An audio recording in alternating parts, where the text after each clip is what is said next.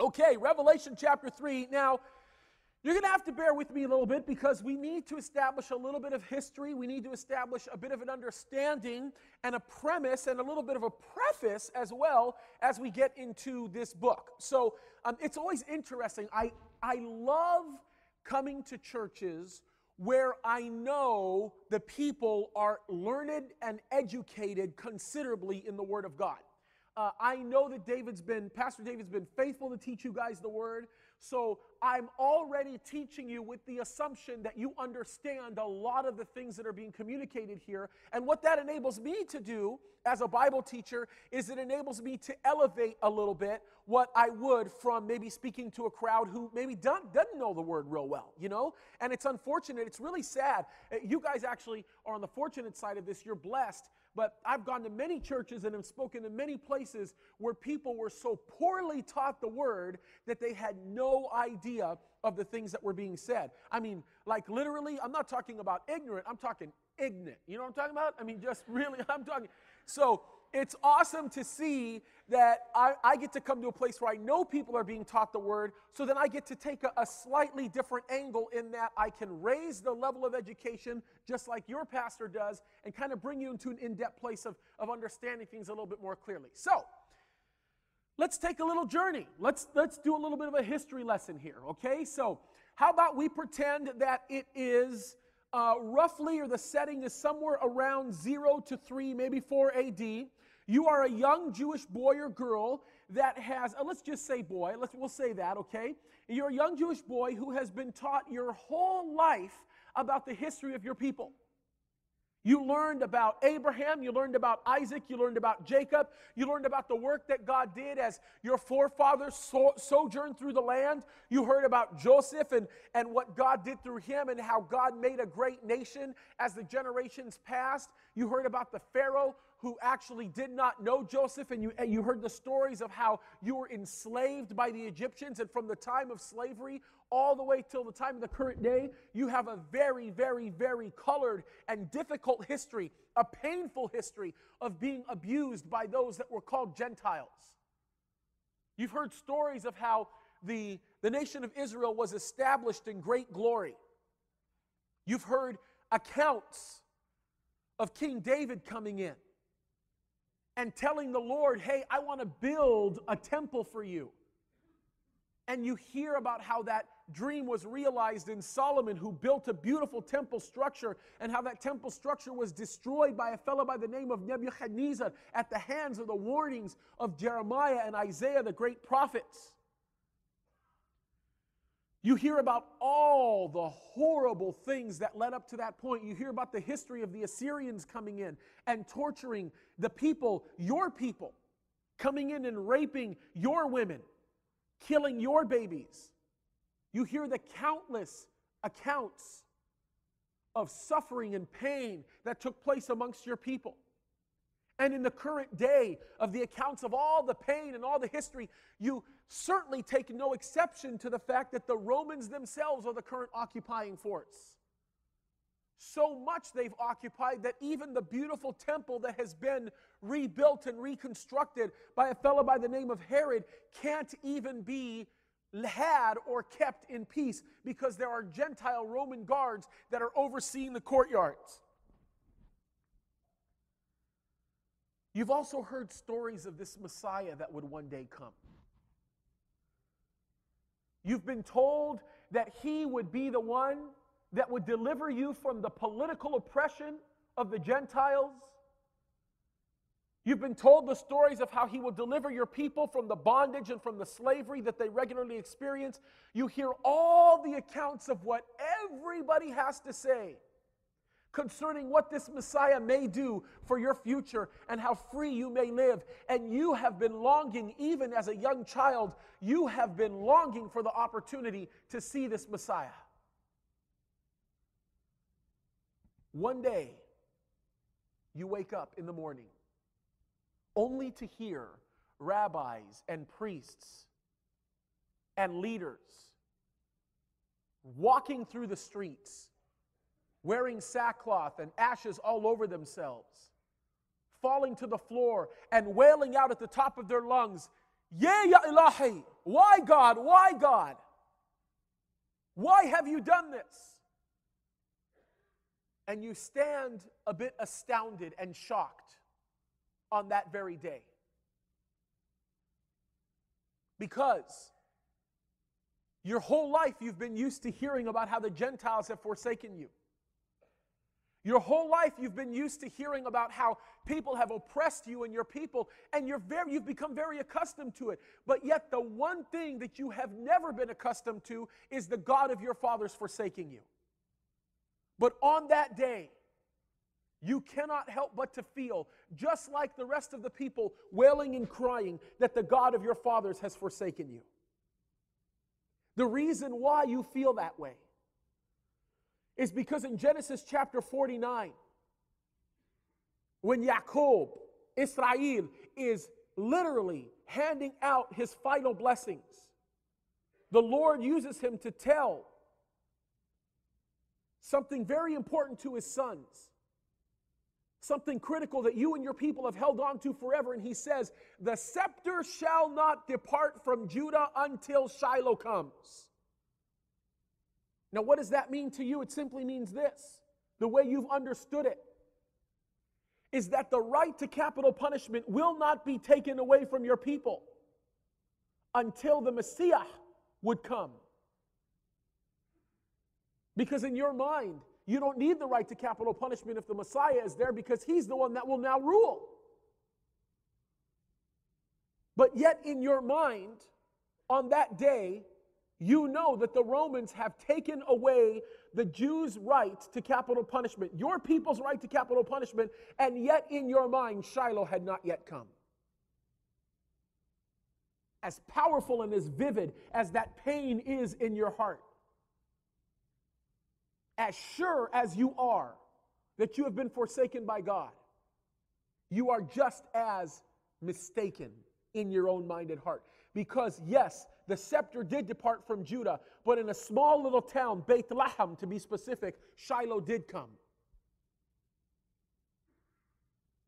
Born literally in a cave, not the birth of a king by any stretch. He was raised up, the Bible says, as the only man on the face of the earth that fulfilled the law completely to its wholeness and its accurate interpretation and depiction completely, whether on its face implied, he fulfilled every jot and tittle. If you don't know what a jot and tittle is, a jot and tittle were literal descriptors that were being used in Hebrew grammar. Almost like grammatical structures, although they weren't but little tiny structures that would depict markers, for lack of a better term, that would depict how accurate the translators were. In other words, you didn't miss a single detail. This man, this Messiah, didn't miss a single detail of the law of God, not even a dot that would be used to mark where the, where the scribes had left off in, in the copies of the manuscripts. You lived the life, the Messiah, he lived the life perfectly. He healed the sick, he gave the blind sight, he took the hopeless and he gave them hope. He took those that were filled with sin and forgave them of their sin. He was truly the Lamb of God who took away the sins of the world. And as a young man who was following him, you find yourself on one day in the year somewhere around 32 AD, standing up, looking at a cross, watching the man who you thought was your Messiah being hung on a cross, a criminal's death. As you're standing there with his mother, you hear the words being yelled out at the top of his lungs. You hear him say, Ilahi, Ilahi lama sabachthani. My God, my God, why have you forsaken me? And at that moment, you witnessed world history, human history. Because at that moment, you watched God the Father judge God the Son, the very Messiah. You were there three days later when he resurrected from the dead after being sealed in a rich man's grave. Roman guards standing so that nobody would steal the body. You watched the miraculous word you watch, you hear of the great things that he does in the next 40 days, and you are there on the day of Pentecost. After 40 days after Christ ascends, you're there when the Holy Spirit comes down in a way that is so powerful and unique and special that He overwhelms the room, fills people, and causes them to speak in other tongues. You watch the church being born. You watch Peter, who used to be scared of little girls, preach the gospel with great power, and 3,000 people being added to the church that day. You stand to watch God the creator of the universe, through the power of his spirit, transform the lives of a very, very broken world. 30 years now goes by from that day of Pentecost. Titus has already come in, destroyed the temple, People are losing heart, they're losing, they're, they're fainting, and you even begin to realize that there is a whole generation of kids who never got to experience the Messiah, who now look at the Messiah as an abstract God, one of many gods that they worship. And so you feel so compelled and so strong that you have to grab a scroll and you have to write these words. You have to say, In the beginning was the Word, and the Word was with God, and the Word was God. And from the beginning of those powerful words that you write down in the native language, the Greek language that you were so familiar with, the language of the Romans, you begin to describe with great vivid accuracy the story of what happened during the life of the Messiah that you still worship. You begin to put in your own words, He was so real to me back then, and He's real to me now, and He's more real to me now than He was back then. And guys, you need to worship Him as such. You see a revival even amongst the Gentile church, and you see great things begin to happen, even specifically in Asia Minor. And now you find yourself somewhere around 90 AD. You've been beat up. You've been persecuted. They've tried to kill you many times. They just tried to boil you in oil, and that didn't work. Because of your stand for Jesus Christ, you're the last living apostle. James died by the sword. Peter was crucified upside down. You're the last one. And you find yourself wondering What's the purpose of my existence? Until something powerful and unique happens yet once again to you. And the Lord Jesus Christ Himself appears to you and says, Write down the things which I show you. I'm going to show you the current state of affairs. I'm going to show you what was, and I'm going to definitely show you what is to come. And I want you to write down exactly that which I tell you because these words will be necessary for the future of the church. Then the Lord does this. He tells John, He says, Look,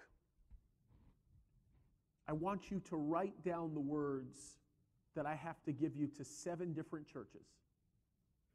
Every single one of these letters, by the way, that he writes to all of these churches are very, va- very valid, very powerful, very relevant to us today. But the one I want to focus on today is, I believe, the one that is probably the most applicable to us in the current condition we are in in the church in the West. And that is what starts in verse 14 when Jesus writes a letter to the church in Laodicea. Now, I'm reading from the King James because I like Elizabethan English, right? But some of you might not like to be tortured by that type of English, so I'll walk you through what some of this means. Look what it says in verse 14. It says, And to the angel of the church of the Laodiceans, write. So it's a command. Jesus is saying, Hey, John, I want you to write this letter to the angel of the church. Now, some people will say, well, this means that there's a literal angel assigned to a church. I don't necessarily take that view because I just don't think that that's what's being depicted here. When it says to the angel of the church, literally the Greek word is angelos. Certainly you're familiar with that term. David's spoken about it many, many times. And what this word can mean, or actually predominantly does mean, is the messenger of the church. Who's the messenger of the church? The messenger of the church is the pastor of the church. Why is the messenger of the church being spoken to as opposed to the church as a whole? Here's the reason why. Because when God wants the body of Christ to behave a specific way, who does he tell to behave that way first? The pastors. They're the leaders. God doesn't say, do as I say. He says, do as I say and as I do. Right?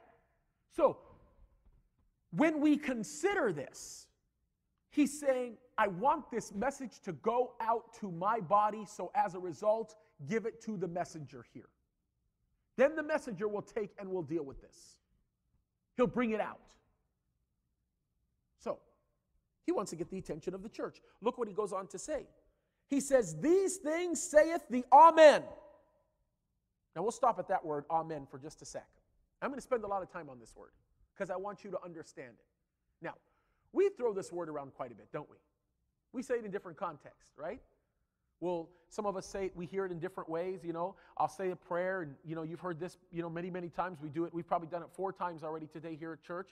We'll say a prayer, Lord, in Jesus' name, Amen. Right? We always say that, and I even noticed when I said Amen, many of you said Amen with me. Right?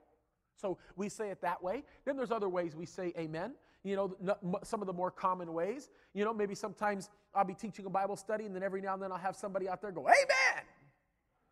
And I kind of like that little bit of affirmation. You know, it's kind of cool. I, when I do it, I tend to, as a pastor or something, I go, Amen! Ha! You know, praise the Lord! no, not that crazy, but you know. We say different ways, different contexts in which we say amen, right? I, I, sometimes you can even use that word in a way that is sort of secular, if you know what I mean. Like something that doesn't necessarily relate to God, although I think food relates to God. I'll use food as an example here. Okay? This is a, this is a good one. I, I, perfect example. I, I, went recently to a place that I love. It's called Ham Bones. in our neighborhood, it's a great, it's the best barbecue place you ever. It's, it, let me tell you the kind of barbecue it is. It's a type of barbecue where they give you like, like hope, like Wonder Bread. You know what I'm talking about? Like the white Wonder Bread. You know what I mean? Where the, where the food has been barbecuing for, you know, the meat's been barbecuing for like 12 hours. You know, being, oh man, it's the best stuff. And we're sitting there eating away, and man, it's just so good. And someone said, dude, this food is the bomb. And it, I, he wasn't even eating with me, with somebody else, like on the other side of the room. And I turned around and went, Amen. I'm church up in this place right now. you know? And we say amen in all kinds of different contexts. We use the word amen in all kinds of different places and in all kinds of different ways. But there's a way that amen, amen, is being used here that some of you might not be familiar with. The way the word is being used here is it's a title to depict a particular characteristic that is so foundational and fundamental that you cannot identify with God without understanding it. And that is this Amen also means, when it says so be it, also means it is permanent. In other words, when I say it's to happen, it's to happen. God doesn't play around. He doesn't say, Come on into heaven. Nah, just kidding, go to hell. he doesn't do that. He doesn't. And when you examine it, there are gods or people who claim to be God who are filled with lies. I shared with you a passage from the Quran the last time I was here that tells us to lie because Allah is the chief of liars. How would you like to give your life as a martyr for a God that is called the chief of liars? Can you trust him? No, you can't. When they tell you on TV, oh, Islam is a religion of peace, it's not a religion of hate, it's not a religion of violence, liar. It's a lie. There's nothing true about that. You cannot give Allah the title of Amen because what He says is not always so. He, by his own words in his own holy book, the Quran, calls himself the chief of liars. By the way, who does the Bible say is the chief of liars? I'll say it in Arabic Shaitan. Satan. Now, God, on the other hand, the true and living God, the God of the Bible, is not a liar. When he says he's going to do something, folks, he's going to do it. He's not like, okay, he's not like the little young new age girl that you might see at the grocery store. Has to be like a fancy grocery store, you know what I mean? Like, you know, one of the one of the rich people grocery stores. You know, it has to be like in a really, really nice neighborhood or, or, or a grocery store that's like, you ever wonder that? Like if you have a Ralph's that's like somewhere in South LA, it looks like a liquor store somewhere, right? But if, you, if, if it's a Ralph's that's like, you know, in a really, really nice part of Orange County, dude, it looks like, man, what? I mean, it's like, it, they have their own department store in there. You know what I'm talking about? They got a little restaurant in the middle of the place, and you know what I'm talking about? So you got to go to a restaurant like that. I don't know why, it just happens to be there, you know? Because if you go to if, if you go to if you go to a grocery store in the ghetto, you won't see this. But you know what I'm talking about? Okay, this this has happened to me. I've gone to these grocery stores and you see this mom saying, a little, and it's a little boy. It's like a little boy and a little girl having a fit at like three years old. Wah, wah, wah, Captain Crunch! Wah! And then the the mom says, "Okay, honey, now I'm going to count to three. And if by the time I get to three you don't stop, you're going to be in trouble." No, whatever. You walk away. Go get whatever you need. You come back 20 minutes later, and the girl is still sitting there counting to now. I think she's at 300. You what I mean? And the kid's still going, ah! My dad didn't do me that way. You know what I'm talking about? That's why I say you'll never see this in the ghetto. You have a little kid that throws a fit, that mom won't even say, I'm going to count to three. That mom will be like, what? Boom! You know what I'm talking about? That's some good parents over there, you know? You got to be that way. My dad, I never got away with doing that with my dad. Do you know if my dad told me to do something, if by the time I said oh and no, I was saying no, my dad, my, my hand would see, my dad's hand would literally see my mouth. No, oh, before I could even say no, the back of his hand right there. When my, this is why I think I have such a grasp, and listen to me, parents, especially fathers, this is why I think I have such a great grasp on my heavenly father, is because of the man of God my dad was and still is. When my dad told me something, it was going to happen. It's, that was the way it was. My dad, no, there's no way in the world that, it, I don't care what it was. If my dad said it was going to happen, there was you, no way in the world you could convince me that it was not going to happen. When my dad said it, it was happening. I remember this one time. I don't know, 12 years old, something like that. My dad says, if you ever say that again or respond back to me disrespectfully again, I'm warning you right now, I am going to spank you. He used to say in Arabic, which means I'm to I'm to grind you up like a pile of meat, basically. That's what he would tell me.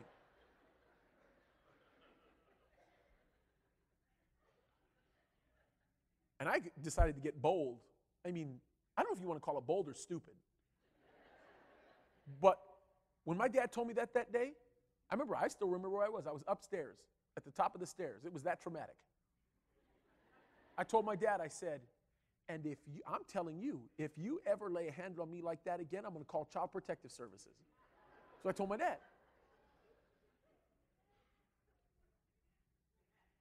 Now,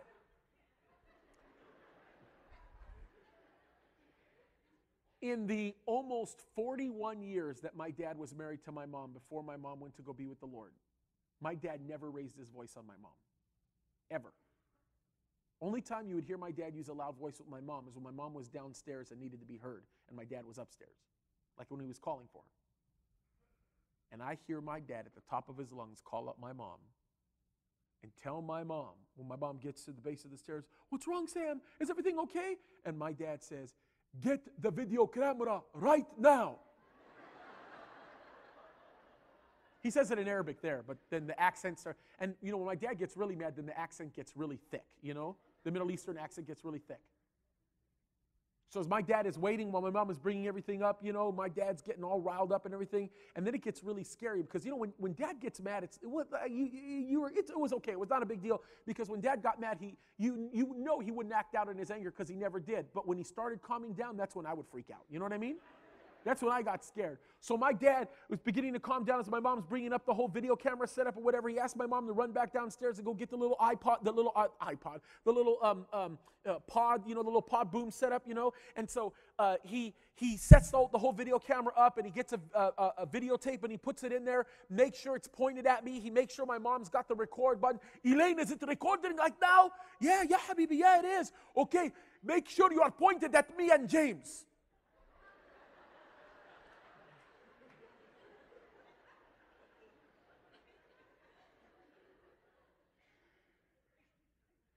And then my dad manages to give me the whooping of a lifetime.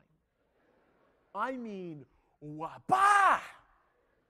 I think there may have even been a shoe involved. I don't know. I don't remember.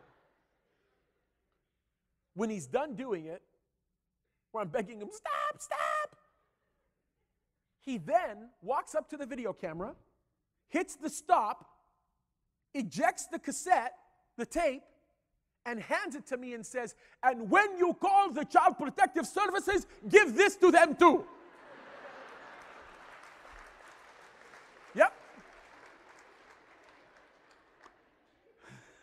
I'm not lying, that's true. When my dad said something, it happened.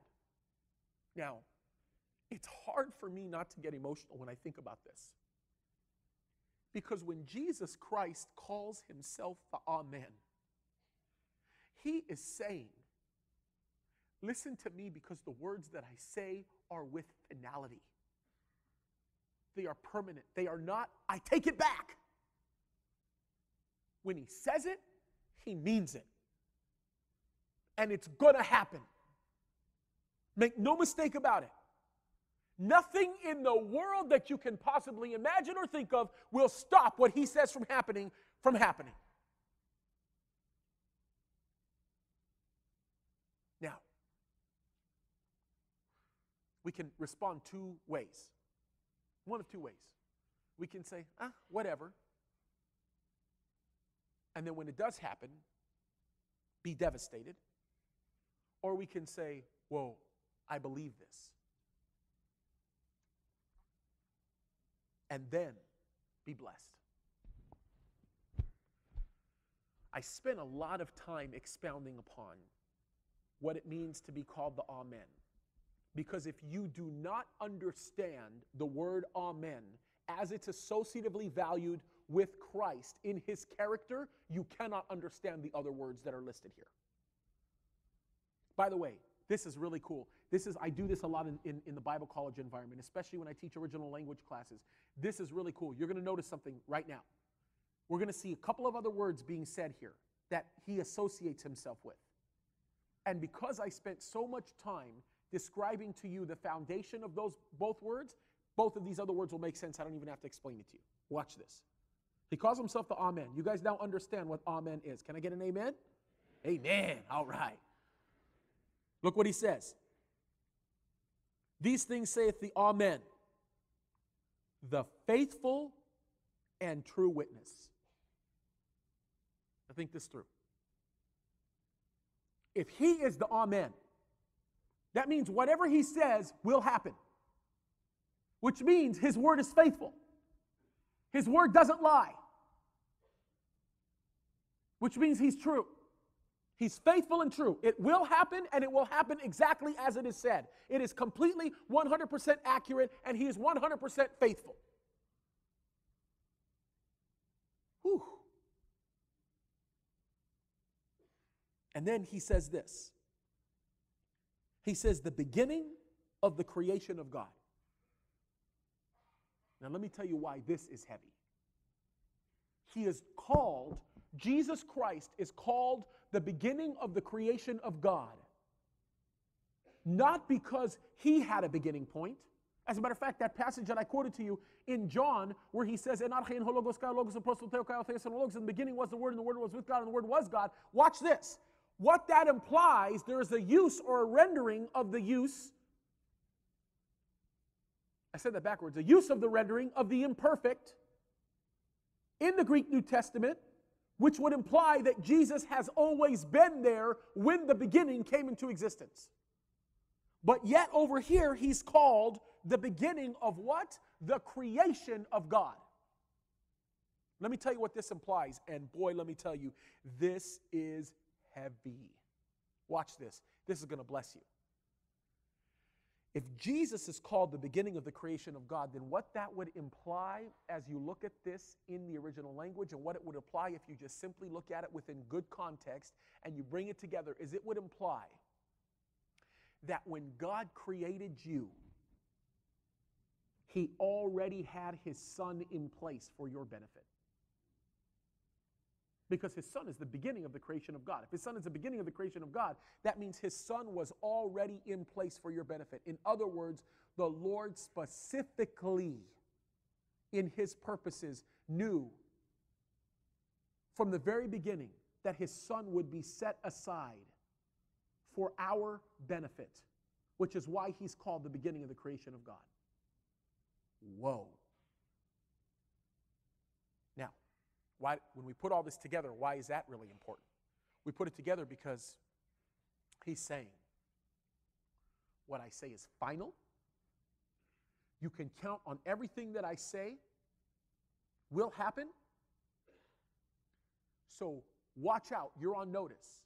But know that I'm telling you this with the deepest and sincere innermost depth of my love.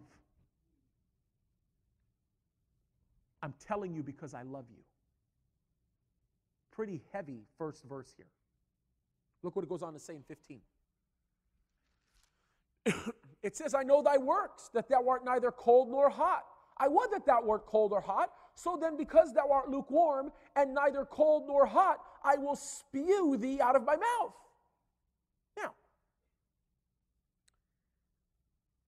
This passage is probably one of the most incorrectly taught passages in the Bible.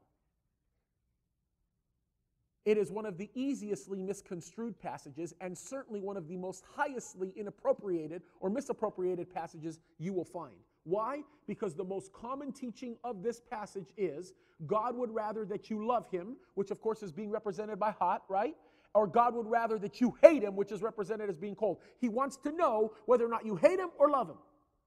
But instead, because you're in the middle, that's why he's mad and he's going to spew out of his mouth. That is wrong.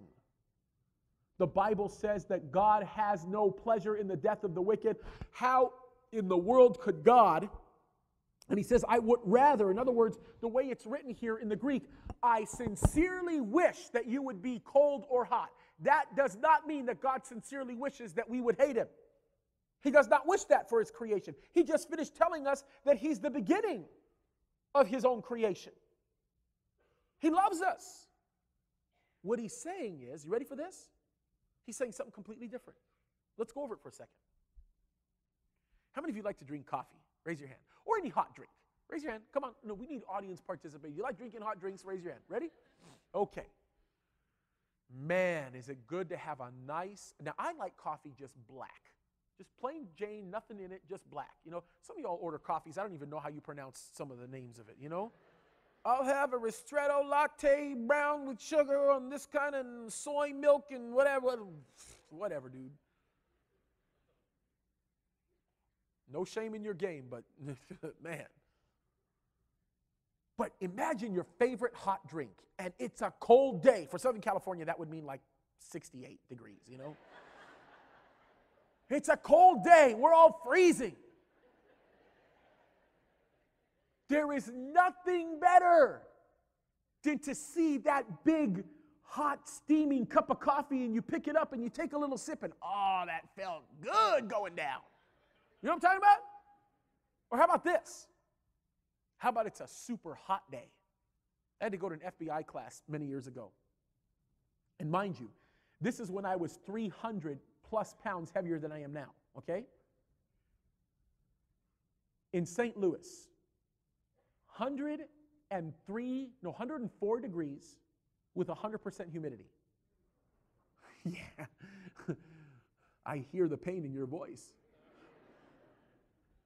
Dad stinks. It's miserable.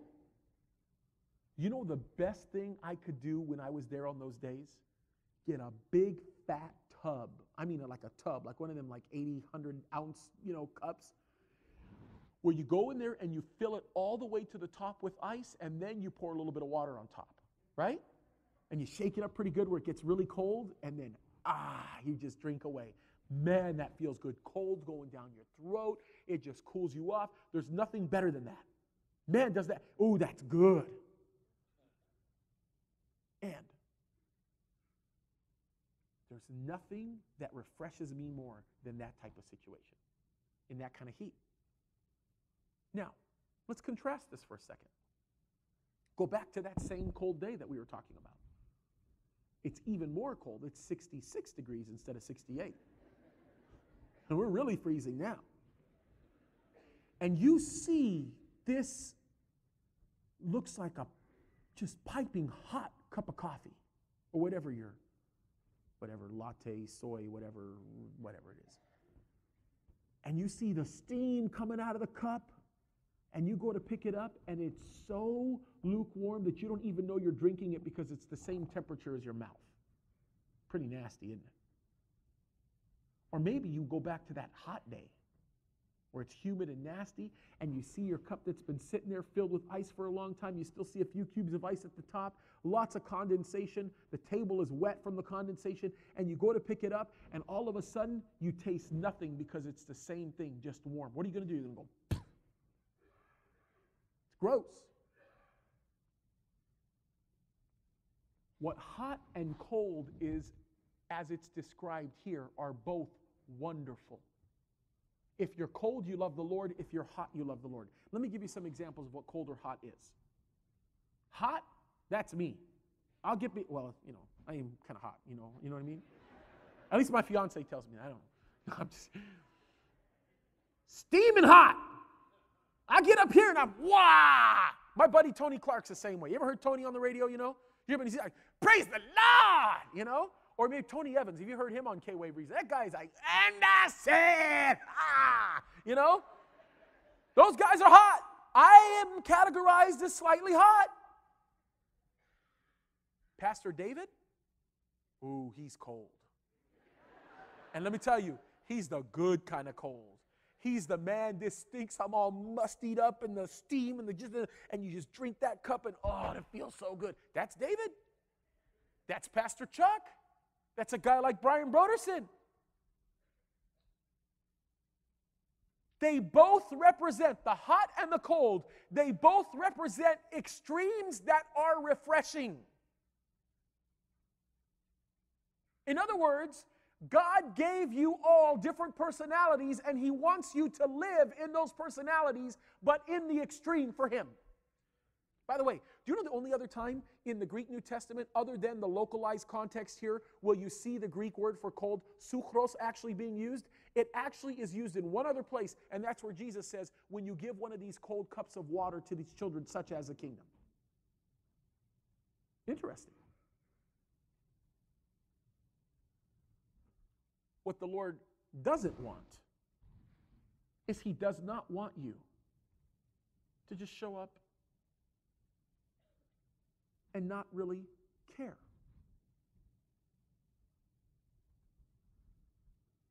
He wants you to be you. He doesn't want you to try and be like somebody else. He wants you to be exactly how He's made you. But He wants you to do you in the most extreme way you can think. In other words, in your relationship with God. By the way, let me tell you what doing you does not mean. Doing you does not mean, well, that's the way I am, and if you don't like it, then forget it. Right? A lot of husbands do that to their wives, and I'm going to beat up on the husbands a little bit because that's really what happens, right? They go to their wives and they say, You're just going to have to accept me this way. I have to have, all my life, I've watched football on this day, and that's the way it's going to be. Really?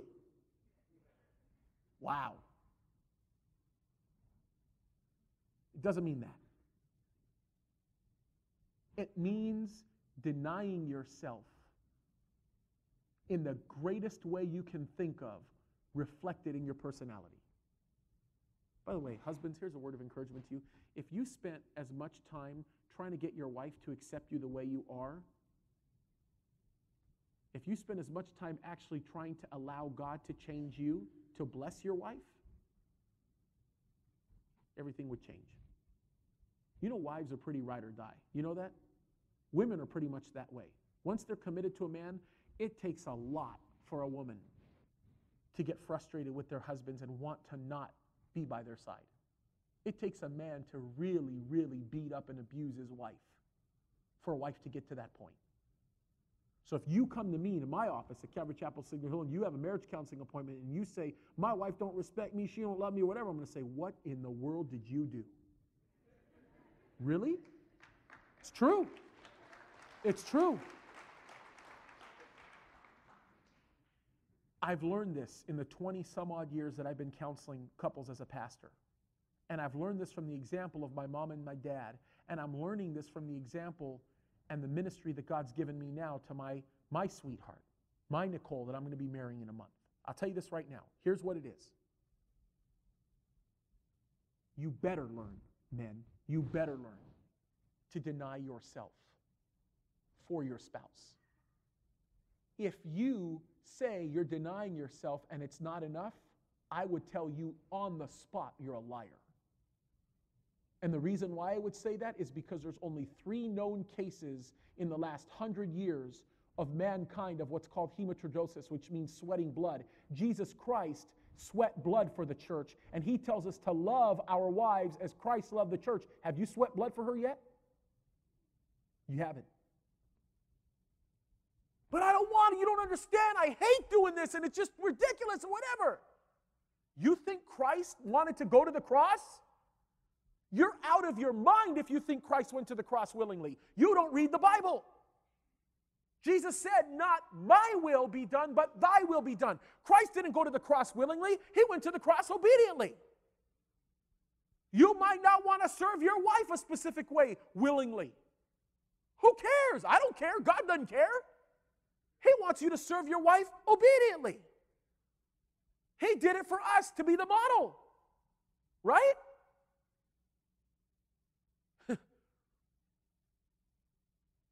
do you the way God made you, but do it in obedience, direct obedience to God. And those personalities res- reflected in your life will be amazing in the way people are changed. Watch this, by the way. Consider this thought. The alternative to that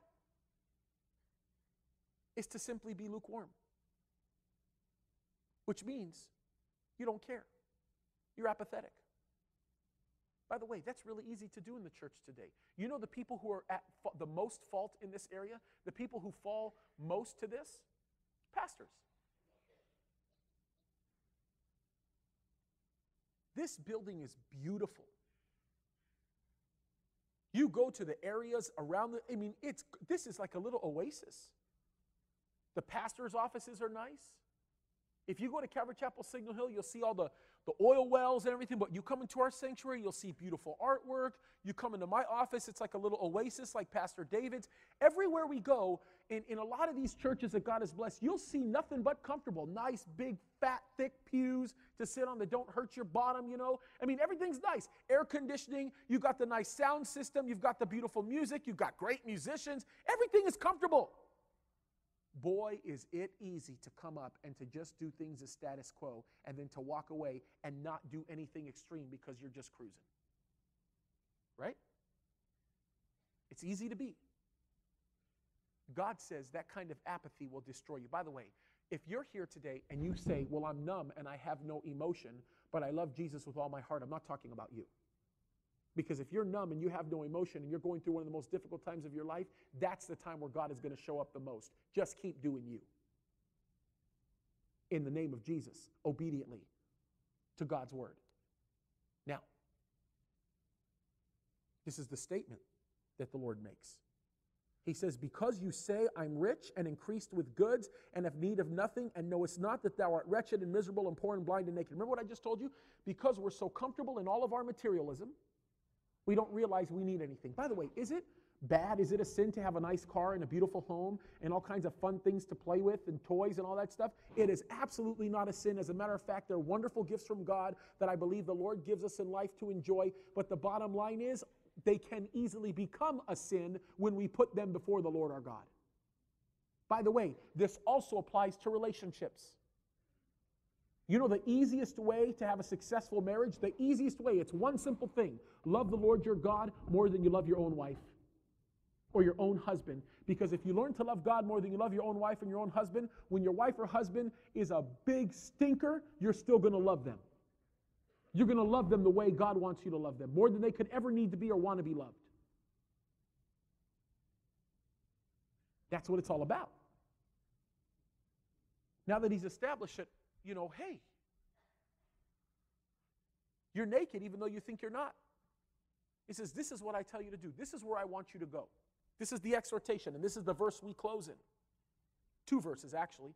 He says, I counsel thee to buy of me gold tried in the fire, that thou mayest be rich, and white raiment, that thou mayest be clothed, that the shame of thy nakedness do not appear, and anoint thine eyes with eye salve, and thou that thou mayest see. By the way, to get pure gold, you know what you have to do to that gold? You have to burn every single last impurity out of it, which means it has to go through a serious forging process. There's a lot of heat. You ever watch Gold Rush? I love that show, by the way, on cable. If you guys watch Gold Rush, it's a great show where they dig for gold and then they put all the dirt together and they, they, they get it all out and then they take the gold and they melt it all down and all the crud comes to the top and they got this beautiful, beautiful like brick worth of, worth of gold. Oh, that's so cool. Guess what? God says, I need you to buy that stuff from me. Now, what does that mean? That means you are buying gold in its most pure form, the only kind of gold that can be at its purest level. That's the gold that's bought from the Lord Himself. Now, the only way you get that is to burn. What does that mean? That means you've got to go through some heat. You've got to go through some trials. You've got to go through some difficulty. There is a breaking process, but there is nothing better than to go through that breaking process because the other end of that breaking process is the glory of God. Oh, yeah. That's something that you can say amen to. You know what I mean? Because I get excited about that because life is not easy sometimes. I had someone the other day and I just laughed uncontrolled. I just started laughing. I couldn't control myself. I started laughing uncontrollably. I had a lazy man come to me the other day and say, You know, all these jobs aren't working out for me. I think I'm going to try to get into the ministry full time. You know where I can go to do that? I still laugh at that thought. Really? It's like saying I'm scared of heights and I don't want to step off of a curb. Can you find me the highest high rise to jump off of? It's that foolish of a question, right? God's going to break us, guys, for his glory. If we don't want to be breaking. So it's, it's a good idea to break ourselves before the Lord and let God do the work He's going to do. That's what buying gold that's refined by God's fire does. What happens when a person realizes they're naked? They do anything they can to get clothing, right? If you don't realize you're naked, you're walking around going, The emperor has clothes. The emperor has clothes. Yeah, look at me. I'm, I'm styling. No, you're not. You're offensive. You know? It's true. Let's close here. He says, As many as I love, I rebuke and chasten. Remember what we talked about? How the Lord loves us, and because He loves us, He will rebuke us and He will chasten us, He will discipline us. We talked about that, right? He says, Because I love you, that's what I will do. But here's the commands that He gives us two commands, and they're very important. He says, Be zealous, therefore, and repent. Two commands issued to us in what is the rendering of the present active imperative in the Greek, which means continue to be zealous and continue to repent. As you identify areas in your life that you are going that is contrary to the gospel of Jesus Christ, turn away from it. And stay turned away from it. And as you identify another area that you need to turn away from, turn away from that. But then here's one that we miss. He says, Be zealous continually. What does that mean? Does that mean when you preach, be as loud as you can preaching? Well, if that was the case, I'd be the godliest man on the earth. Doesn't mean that. It means put your whole heart into worshiping the Lord. I had somebody come up to me the other day, at our church. Guy that I love, I love him and his family. He comes up to me, he says, You know what, James? You talked about being zealous and, and giving yourself to the Lord. I don't even know what that means. I didn't even respond to him except with one word You're a liar.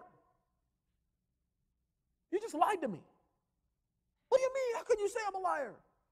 I came to you for direction. What time you going to work every day? Six o'clock? Okay, hold on to that answer for a second. Hold on to that thought. You lied to me about that, but we'll get, we'll get into that in a second. What time did you come to church this morning? 9.30?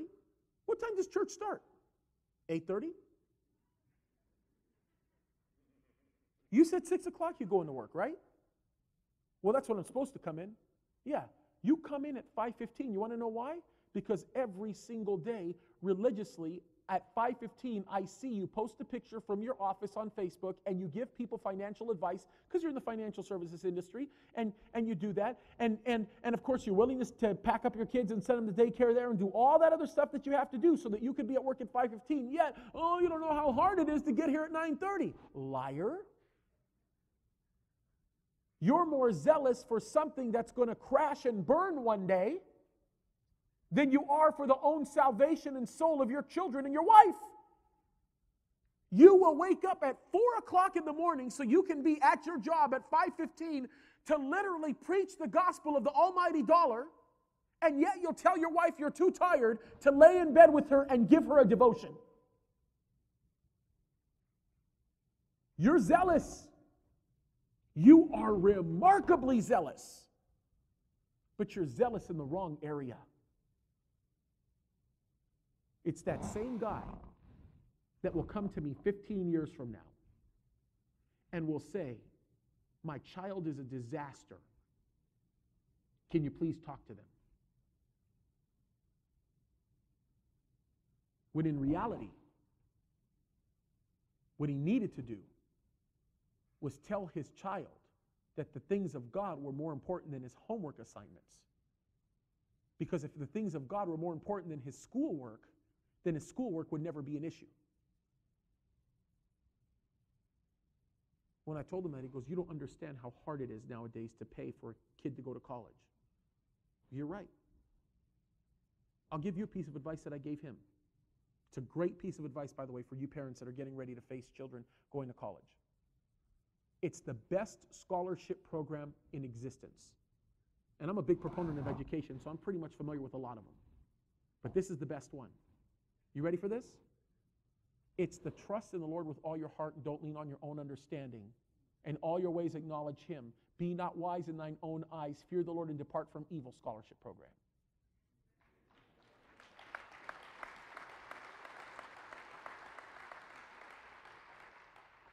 We have a guy that goes to our church right now who's one of the state of California's newest attorneys. He knows that I went to law school back in the day, and he came to me and he said, Hey, I think I want to be a lawyer one day.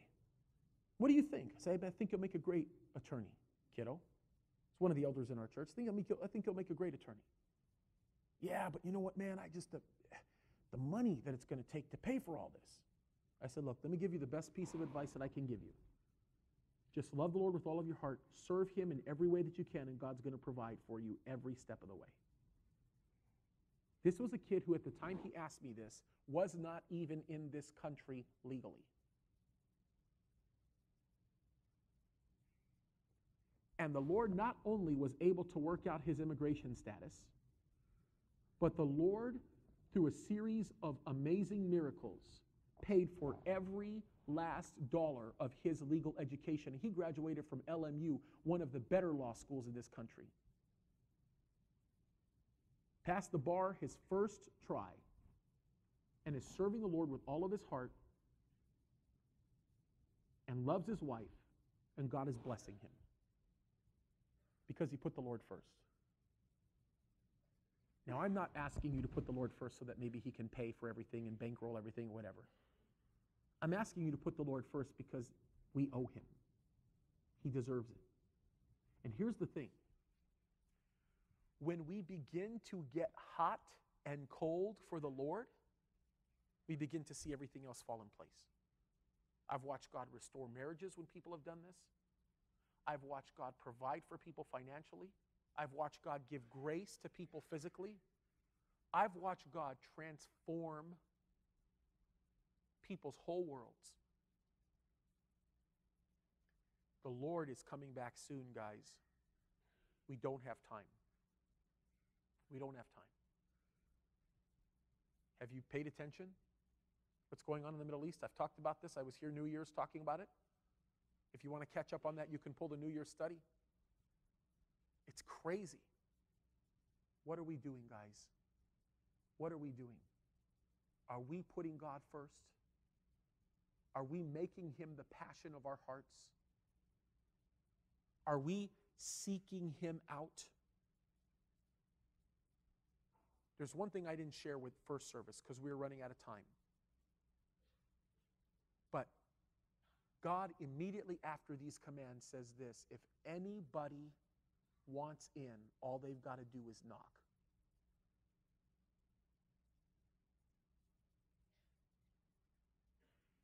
He doesn't say that. He says, I'm the one that's being proactive. I'm knocking. You don't even have to knock. All you've got to do is open the door. You don't have to get right. All you have to do is come in exactly the state you're in, and the Lord will come into your heart and will change your life. Isn't that great?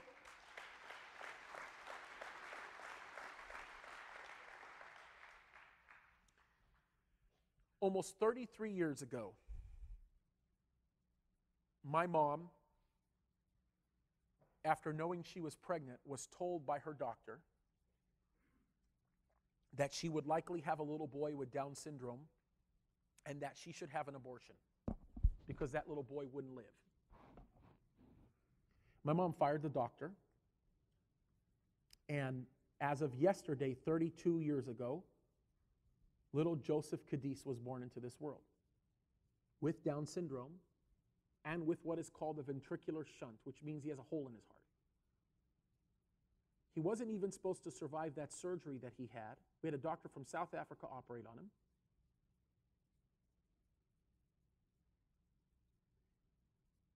And he's a healthy little guy now.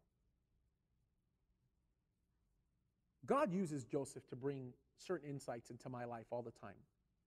One of the most significant insights that God brought into my life with Joseph was through my little brother's singing. I'll give you an example. We had a guy that got saved in our church who was a crazy old school Long Beach SWAT policeman. I mean, the type of guy that had killed a bunch of people in the line of duty, just very hard on the outside, didn't like people, sat in the back of the room, didn't trust anybody, whatever. Heard I was a police chaplain, got saved in our ministry, but then he still was kind of this rough guy, didn't want to ever sing worship. Joseph walks right up to him one day, sits right by him, and Joseph loves to lift up his hands when he sings worship. So he would grab David's hand. His name is David, wonderful man of God, by the way. He'd grab David's hand, and David's like, oh. By week two, by week two, they were always looking for each other every service, and they would lift up their hands to the Lord, singing to the Lord. One of my favorite songs that Joseph sings, because Joseph has a, a massive tongue, so it affects his speech. One of my favorite songs that Joseph sings is a song, I think Joe Sabolick wrote it, and I, I like Joe. He, he sings this song, Come Just As You Are. You know that song? Come Just As You Are. That's okay, great song. Joseph doesn't sing it that way. Because of his speech impediment, it sounds like this Come nasty as you are. I love it. right? It's cute how he sings it too. Come nasty as you are. you know? Hear the Spirit call. Come nasty as you are. Come and see, come believe, come and live forever. It's like, gosh. That's the wonderful part. You don't have to get fixed up for God, He'll fix you up. Just open the door. That's it. He's knocking. Let him do the work.